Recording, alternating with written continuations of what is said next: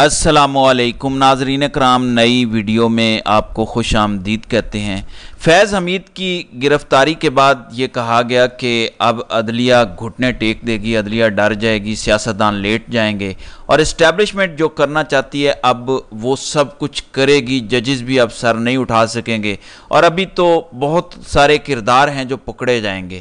لیکن حیران کن طور پہ کل جنرل فیض حمید پکڑے جاتے ہیں اور آج جسٹس میاں گل حسن اورنگزیب کی عدالت میں اظہر مشوانی کے دونوں بھائیوں کے حوالے سے سماعت ہوتی ہے۔ میاں گل حسن اورنگزیب نے آرڈر دے رکھا تھا کہ آج تیرہ اگست کے دن انہیں ہر صورت بازیاب کروا کے پیش کیا جائے۔ مگر آج تیرہ اگست کے دن اظہر مشوانی کے دونوں بھائیوں کو عدالت میں پیش نہیں کیا گیا۔ حکومت کی جانب سے یہ بتایا گیا کہ کسی بھی ایجنسی کے پاس اظہر مشوانی کے دونوں بھائی نہیں ہیں۔ اب جیسے میاں گل حسن اورنگزیب کو تو ڈر جانا چاہیے تھا، سہم جانا چاہیے تھا کہ جنرل فیض حمید کی گرفتاری کے بعد حالات بڑے ٹائٹ ہو گئے ہیں۔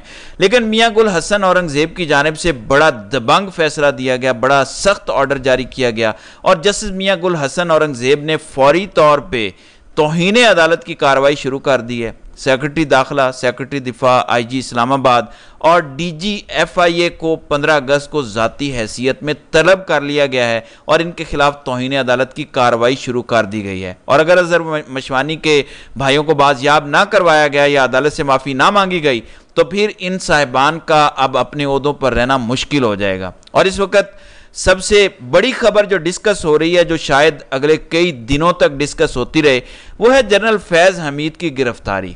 اور اس سے ابھی بہت کچھ نکلے گا۔ رات کو میں نصرت جاوید کو سن رہا تھا، بڑے سینئر صحافی ہیں۔ وہ کہتے ہیں کہ اس گرفتاری کے بعد اسٹیبلشمنٹ جو پردے کے پیچھے بہت کچھ کرنا چاہ رہی ہے یا بہت کچھ کرنے جا رہی ہے، تو شاید لوگ فیض حمید کی گرفتاری کے پیچھے لگے رہیں کہ فیض حمید کا کورٹ مارشل ہو گیا، فلاں پکڑا گیا، فلاں انکشاف ہو گیا۔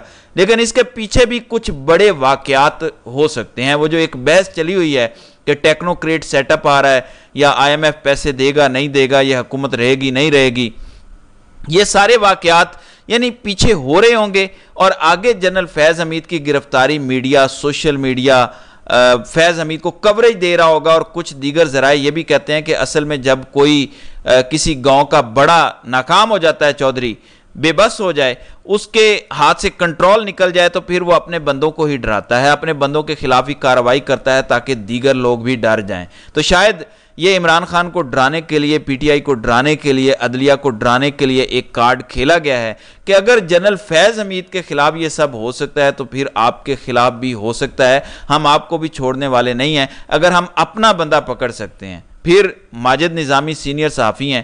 وہ کہتے ہیں کہ جنرل فیض حمید کی گرفتاری دراصل فوج کی اندرونی لڑائی کا شاخسانہ ہے جو دو ہزار سترہ اٹھارہ سے شروع ہوئی تھی۔ یعنی یہ جو لڑائی چل رہی تھی، آئی ایس آئی کا چیف بنایا گیا۔ آصم منیر جو ڈی جی سی تھے انہیں ہٹا دیا گیا۔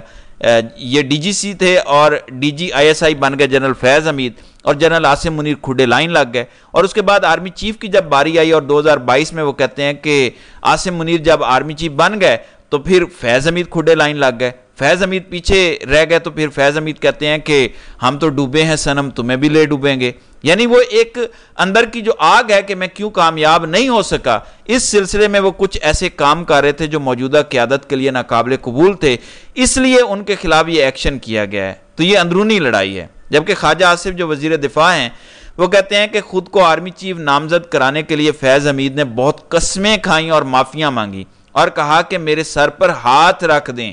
جنرل باجوہ نے بھی اصرار کیا، مگر پھر آخری وقت میں جنرل فیض حمید کو چھوڑ دیا گیا اور کہا کہ جنرل آسم منیر کی جگہ کسی اور کو آرمی چیف بنا دیں تو انہوں نے کہا کہ فیض حمید نے ہم سے معافیاں مانگی۔ ہمیں کہا کہ آپ نے ایسے ہی مجھے عمران خان کے ساتھ ایسوسیٹ کر دیا تھا۔ میں آپ کا تابع دار ہوں، میں عمران خان کی جماعت توڑ دوں گا، مجھے یتیم مت کریں، خدا کے لیے میرے سر پہ ہاتھ رکھ دیں۔ اور پھر جب وہ ناکام ہوتے ہوئے نظر آئے، تو پھر انہوں نے یہ درخواست دی کہ چلو، اگر مجھے نہیں بنانا تو نہ بنائیں۔ پھر جنرل عاصم منیر کو بھی آپ آرمی چیف نہ لگائیں۔ تو یہ ساری چیزیں ہیں۔ پھر اس کے علاوہ کل حامد میر نے دو دعوے کیے تھے اور بڑے سخت دعوے تھے۔ ایک تو انہوں نے کہا کہ جنرل فیض حمید کا نو مئی کے ساتھ تعلق ہے۔ نو مئی کے اندر جو مشاورت تھی، جو اہم چیزیں تھی اس کو جو ڈکٹیٹ کر رہے تھے وہ جنرل فیض حمید تھے۔ دوسرے نمبر پر انہوں نے کہا کہ فیض حمید بطور آئی ایس آئی چیف کچھ سیاست دانوں اور صحافیوں کو قتل کروانا چاہتے تھے۔ تو اس حوالے سے بھی انہوں نے کہا کہ بڑے اہم شواہد اور اہم چیزیں منظر عام پر آ چکی ہیں۔ اس کو لے کر اب انصار عباسی اب حامد میر کا تعلق بھی جنگ اور جیو سے ہے۔ انصار عباسی کا بھی تعلق جنگ اور جیو سے ہے۔ ایون ایڈیٹر اینڈ چیف بھی ہیں انصار عباسی صاحب۔ انصار عباسی کے بارے میں سبھی جانتے ہیں۔ ان کو بظاہر سمجھا جاتا ہے کہ وہ اسٹیبلشمنٹ کے جی ایچ کیو کے غیر سرکاری ترجمان ہیں۔ ٹاؤٹ ہیں بلکہ مہار ٹاؤٹ ہیں۔ وہ یہ کہتے ہیں کہ یہ جو دعویٰ سامنے آیا نا کہ نو مئی کے حملوں میں ان کا تعلق ہے، جو جنرل فیض حمید ہیں، وہ کہتے ہیں کہ ایک ذریعے سے جب یہ پوچھا کہ آیا ان واقعات میں جنرل فیض کا نو مئی حملوں یا ان کی منصوبہ بندی کے حوالے سے کوئی بات شامل ہے؟ تو انہیں جواب دیا گیا کہ اب تک ایسے کوئی شواہد موجود نہیں ہیں۔ تو انصار عباسی کہتے ہیں کہ میں نے فوجی ذرائع سے پوچھا کہ کیا نو مئی کے ساتھ بھی جنرل فیض کا کوئی تعلق ہے؟ انہیں جو پکڑا گیا ہے، تو انہوں نے کہا کہ نہیں، نو مئی کے حوالے سے ابھی تک کوئی ایسے شواہد، کوئی ایسی چیزیں اسٹیبلش نہیں ہوئیں۔ تو پھر انصار عباسی جو حامد میر کا دوسرا دعویٰ تھا کہ دو ہزار تیئیس میں فیض امید بطور ڈی جی آئی سیاستدانوں اور صحافیوں کے قتل کی منصوبہ بندی کر رہے تھے۔ تو اس حوالے سے بھی وہ کہتے ہیں کہ متعلقہ حلقوں کو دو ہزار تیئیس میں جنرل فیض حمید کے بحثیت D G I S I کچھ سیاستدانوں اور صحافیوں کے قتل کرنے کی منصوبہ بندی کے شواہد ملے ہیں، تاہم ذرائع کا کہنا ہے کہ سابق D G I S I کے خلاف ایسی کوئی بات نہیں ہے۔ تو انہوں نے کہا کہ میں نے یہ بھی پوچھا کہ کیا کوئی ثبوت ملے ہیں تو فوجی ذرائع نے یہ کہا کہ نہیں، ایسی کوئی بات نہیں ہے۔ وہ کسی صحافی کے قتل کے اندر یا سیاست دانوں کے قتل کے اندر ملوث نہیں تھے، نہ ہی وہ ایسی منصوبہ بندی کر رہے تھے۔ تو انصار عباسی نے حامد میر کو جھوٹا ثابت کر دیا ہے۔ اب اس کے بعد حامد میر کی دوبارہ انٹری ہوتی ہے۔ حامد میر کہتے ہیں کہ ہمارے کچھ صحافی ساتھی جنرل فیض امید کو بچانے کے لیے نامعلوم ذرائع کے حوالے سے خبریں دے رہے ہیں۔ ان سے گزارش ہے کہ احتیاط کریں۔ میں نے کل جو کچھ کہا اس کی بھی تردید کروانے کی کوشش کی جا رہی ہے۔ یعنی مجھ پر دباؤ ڈالا جا رہا ہے کہ حامد میر کو جھوٹا ثابت کیا جائے، ان سے تردید کروائی جائے کہ انہوں نے جو دو دعوے کیے تھے وہ جھوٹے ہیں۔ تو حامد میر کہتے ہیں کہ بہت جلد وہ سب کچھ سامنے آنے والا ہے، جس کی ابھی تحقیقات شروع نہیں ہوئی یعنی حامد میر اپنی خبر پر قائم ہے وہ کہتے ہیں کہ ہمارے کچھ صحافی دوست بھی استعمال ہو رہے ہیں۔ اور پھر مجھ پر بھی دباؤ ڈال کے ان چیزوں کی تردید کروانے کی کوشش کی جا رہی ہے، لیکن یہ چیزیں سامنے آئیں گی، میں اپنی خبر پر قائم ہوں۔ تو یہ سب کچھ تو چل ہی رہا ہے۔ ابھی بہت ساری چیزیں اس حوالے سے سامنے آئیں گی پروپوگینڈا بھی ہوگا، افواہیں بھی ہوں گی، بہت ساری چیزیں اس میں سے نکلیں گی بھی، اور ان ساری چیزوں کو سامنے رکھیں، پیچھے رکھ کے پیچھے بہت کچھ چل بھی رہا ہوگا۔ وہ بھی بہت کچھ سامنے آئے گا، لیکن اس حکومت کا چلنا مشکل ہو گیا ہے۔ ایک تو رات کو بھی بہت سارے دعوے ہوئے کہ اس حکومت کے پاس تیس اگست تک کا وقت ہے اور اسٹیبلشمنٹ نے جو ان کی ڈیوٹیز لگائی ہوئی ہیں، جو کام بولے ہوئے ہیں، اگر یہ نہ کر سکے تو تیس اگست تک یہ حکومت گھر چلی جائے گی اور پھر ٹیکنوکریٹ سیٹ اپ آ جائے گا۔ اب اپوزیشن الائنس نے بھی تیاریاں پکڑ لی ہیں یعنی ان کو گھر بھیجنے کی۔ حکومت کا چلنا ہر لحاظ سے مشکل ہوتا جا رہا ہے۔ خبر یہ ہے کہ اپوزیشن کی تمام جماعتوں کا بڑا اجلاس، جس میں مولانا فضل الرحمان یہ پہلی دفعہ ہے کہ فضل الرحمان نے بھی اس اجلاس میں شرکت کی ہے، یہ بہت بڑی پیش رفت ہے۔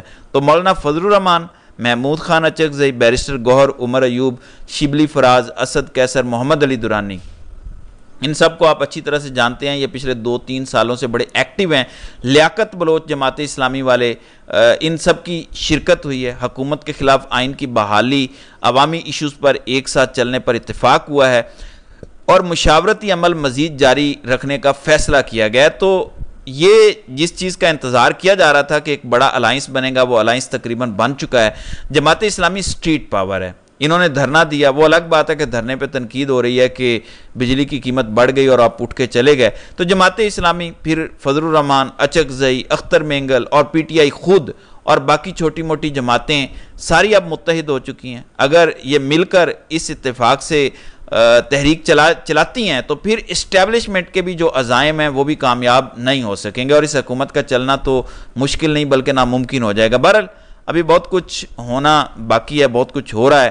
آئندہ آنے والے ہفتے جیسا میں نے کہا تھا، بڑے اہم ہیں۔